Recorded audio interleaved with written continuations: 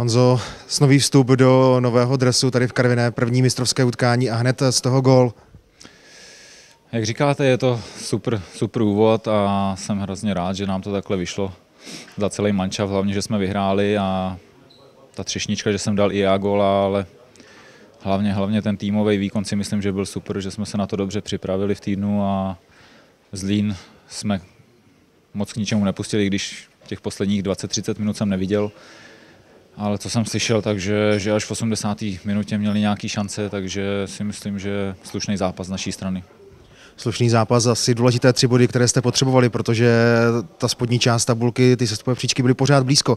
Rozdíl sedmi bodů, teď už se to navýšilo na deset.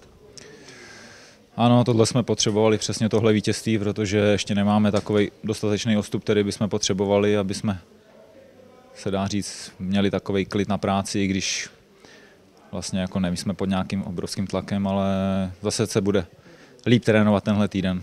Tak přišlo střídání, kolik stehů? Uh, myslím, že pět stehů tam mám. Zatím to ale nevypadá, že to bylo napuchnuté, ale co říkal doktor?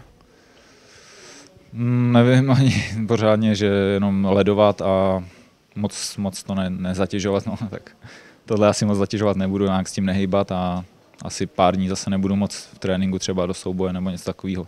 Hlavičkového hlavně. Hey, hey, Karvina,